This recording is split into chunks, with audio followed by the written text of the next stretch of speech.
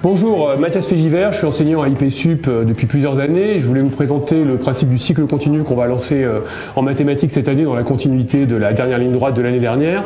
Le principe, c'est de travailler régulièrement des sujets de concours récents pour optimiser vos chances et pour, particulièrement pour parler de la préparation au top 3. On va se concentrer sur des sujets techniques, HEC et SEC. Le prérequis, c'est évidemment d'arriver en connaissant parfaitement votre cours de première année et au fur et à mesure de la deuxième année, on va travailler sur des sujets récents pour couvrir tout le programme, analyse, algèbre, proba, programme de première année, programme de deuxième année.